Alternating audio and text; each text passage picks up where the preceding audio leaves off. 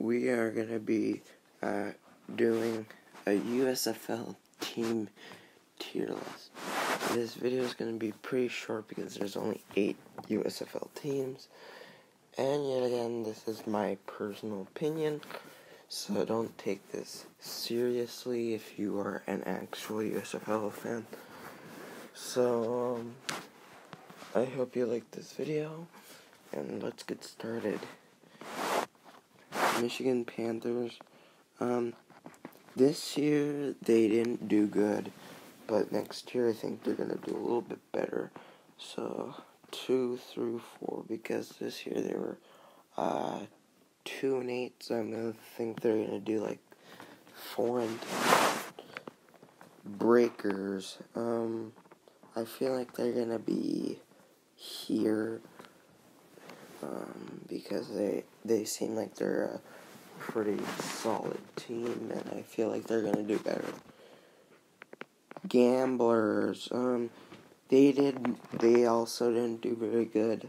They were three and seven. I think they're gonna do their stars. Um, I think the stars are gonna be if they keep Case Cookus. Oh my God, they're gonna be here. Pittsburgh Maulers, they're terrible, man. I don't have any hope at all for them. Tampa Bay Bandits, they were four and six, and I think they're gonna be, mm, yeah, they're, um, New Jersey Generals. I think uh, they're gonna be there, and Birmingham Stallions. I think they're gonna be there. Alright. Well, that's the list. Um, if you enjoyed this video, hit that like button.